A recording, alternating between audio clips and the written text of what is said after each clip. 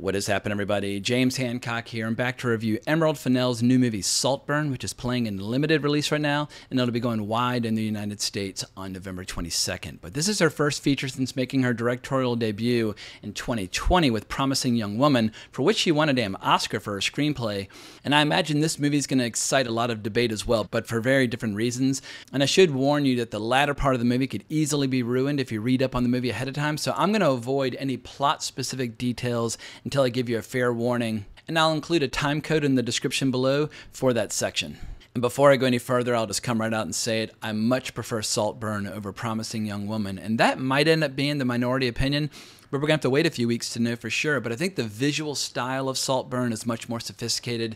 I think the story is more subtle. I think we see clear evolution on her part as a director because the mood and the atmosphere are just absolutely first rate. And I personally love the final third of the movie, but I suspect it's that final third, that last act, that's going to divide a lot of audiences pretty dramatically. I think some people are going to adore the twists and turns, and others are going to feel like the last part of the movie totally betrays what came before. But we don't all have to agree. Discussing movies would be really fucking boring if we all saw eyeball to eyeball on every movie. But if you haven't seen the trailer, the story set in the early 2000s, initially at Oxford, where a young student named Oliver, played by Barry Keoghan, now quick interruption, I've heard a wide range of pronunciations of his last name from Keegan to Keowen to anyway, there, there's a wide range of interpretations of his name out there. But I watched a video with Barry where he pronounced it Keoghan, and even he acknowledged he might be mispronouncing his own last name. But in Ireland, those names are um, very elusive for us uh, unsophisticated Americans. I'm going to call him Keoghan. If you don't like that, well, I can't do anything about it. At any rate, his character Oliver develops a bit of an obsession with this aristocratic heartthrob named Felix, played by Jacob Elordi. And if you've seen him in Euphoria and you have a thing for hot young guys, you're going to understand. But Felix is one of those guys that everybody wants to get close to. Plus, his family, they own a goddamn castle. So when he's out on the town and hitting the pub with his friends and that sort of thing, pretty much all it takes is a little light smack on the buns by his character, and beautiful women would just leap into bed with him. A prospect that may or may not be of interest to Keoghan's character. Whether or not he simply loves them or is in love with them is a big part of the movie. It's a big question about the movie. And what makes Felix and his lifestyle all the more interesting or enticing to Oliver is the fact that Oliver is a scholarship student and he has a troubled background. And so Felix basically decides to kind of take him under his wing by inviting him to spend the summer at Saltburn, his family's palatial estate, where all day, every day, his family and friends, they basically indulge in every whim without a care in the world. They're very eccentric. They all love drugs and alcohol, and they love having uh, esoteric conversations and that sort of thing. And it's on this estate where we're introduced to Felix's sister, played by Alison Oliver. The parents are played brilliantly by Rosamund Pike and Richard E. Grant. I think if you're a fan of Rosamund Pike, she is particularly good in this movie. And we also have Felix's best friend and relative, played by Archie Madekwe, who's spending the summer there as well. And I have to admit, I was a little harsh on Archie in my review for Gran Turismo back in August, but he's much better here, and I think he's much better fit for character-driven dramas instead of of blockbusters. And we also have Carey Mulligan back in action as well, in quite a different role from what she played in Promising Young Woman. But I have to pause for a second and just acknowledge that Barry Keoghan or Keon or Keegan or however you choose to pronounce this last name, I'm going to call him Keoghan. But he has just been going from strength to strength the last few years, and he's putting together a pretty remarkable filmography in a very short period of time. And he's only 31 years old. He's probably too old to be playing a, um, a young student at Oxford, and also he has one of those faces where he's kind of prematurely old with a lot of like, you know, kind of like details and lines to his face. He does not look like an 18 year old boy. He looks 31, like going on 50. But if you set aside his uh, his appearance, his filmography is just incredible. What he's done over the last 10 years is nothing short of remarkable. I mean, last year he had The Banshees of Inisherin, where he was absolutely incredible. He had a brief little cameo in uh, The Batman. He appeared in Eternals, a movie which I didn't particularly care for, but anyway, it was a big Marvel movie.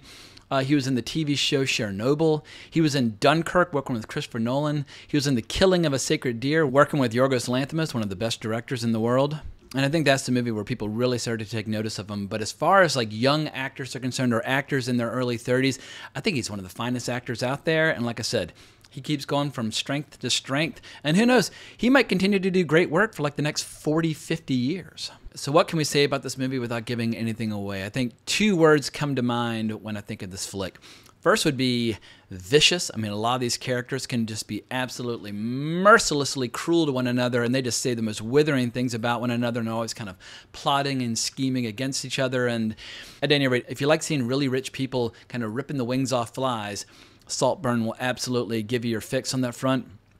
And I'd say the movie's also intensely homoerotic.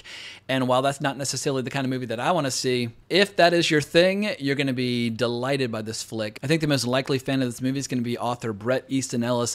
I listen to his podcast all the time, and he has spoken at length many times about the show Euphoria and how he finds Jacob Elordi very easy on the eyes, and after seeing this movie, which is basically like a two hour highlight reel of Jacob looking as alluring as he possibly can, I don't want to hear people talk about the male gaze ever again because, if anything, the female gaze is just as, um, I guess, uh, avaricious or predatory or hungry because clearly, as a filmmaker, Emerald Fennell she gets off on watching hot guys kind of fight or argue or flirt or, you know, basically there's just a lot of homoerotic tension. I won't say this movie is like softcore porn or anything like that.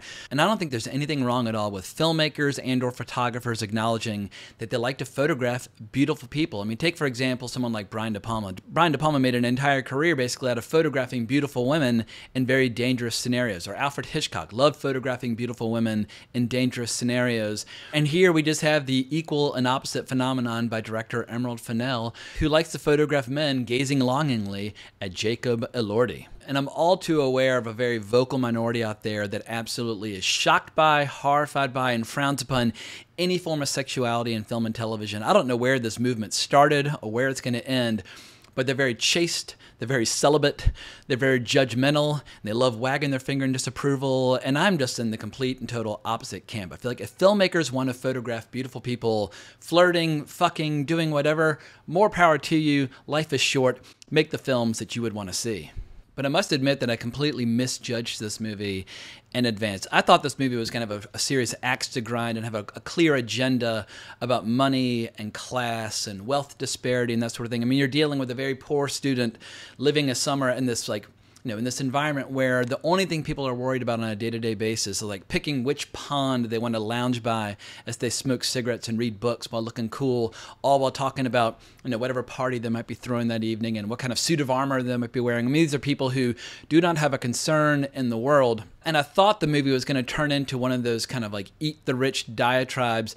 And who knows, maybe there'll be some people out there who will go to this flick expecting or craving one of those eat the rich diatribes, and then they'll be frustrated if they don't hear some sort of like Marxist screed, you know, very vividly pronounced throughout the flick. But whether you're actively craving this movie to have an agenda or you're afraid that it might have an agenda, I think uh, both camps will be very surprised by the direction that the story ends up going. And I think one of the more observant aspects of this movie is showing how there's an impulse in some extremely rich people to kind of take poor people under the wing as like a project or like a pet.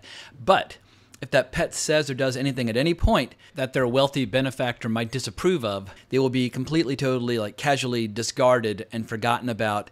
And so, getting back to just the whole vicious angle of this movie, whether you're talking about Rosamund Pike's character or Richard E. Grant or Jacob Elordi, the viciousness runs deep in this flick, but I like vicious movies, so I was uh, totally down with that aspect of the film.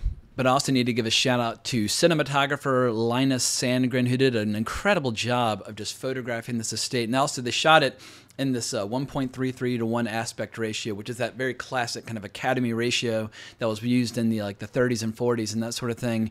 And maybe they did that very deliberately in order to avoid comparisons to films like Last Year at Marienbad and some other kind of famous films that also explore similar terrain. But there's a very clear, overt style and aesthetic to this movie. A lot of just floating cameras wandering through all the chambers of this incredibly exotic house filled with priceless artifacts.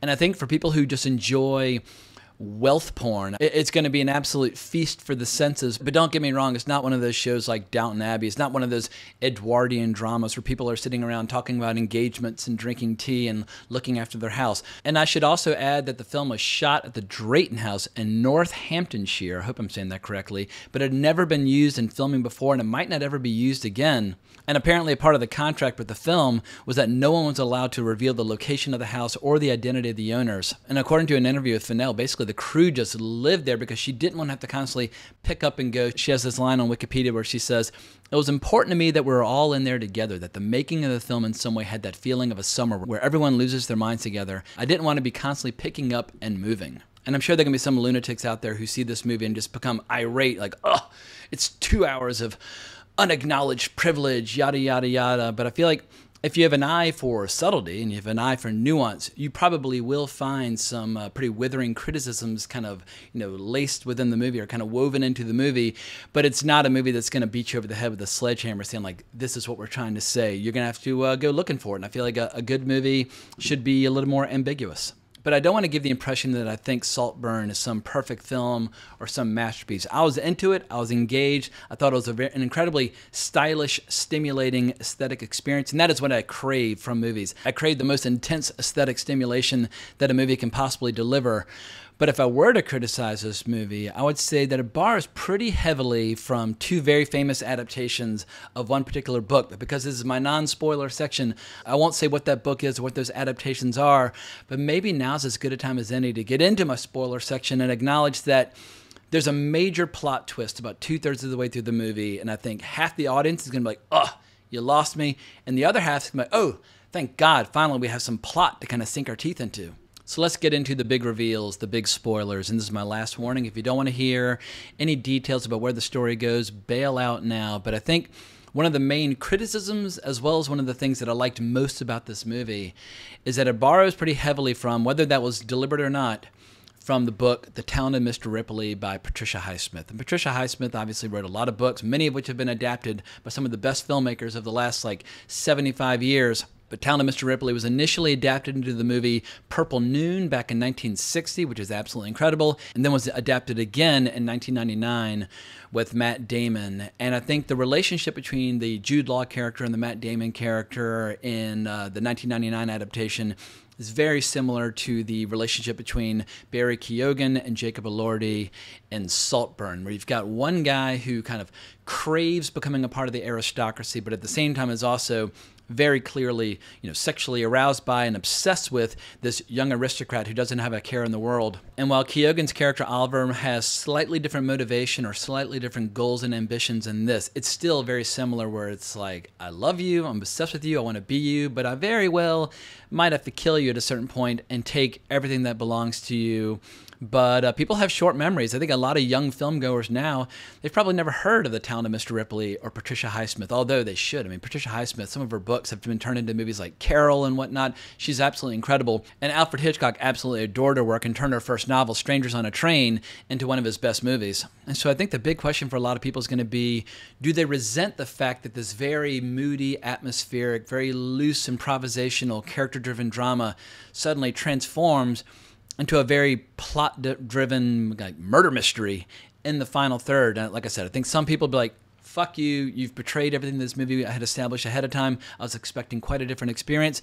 And they just, they'll mentally check out. And I think other people are going to be like, oh, what a relief.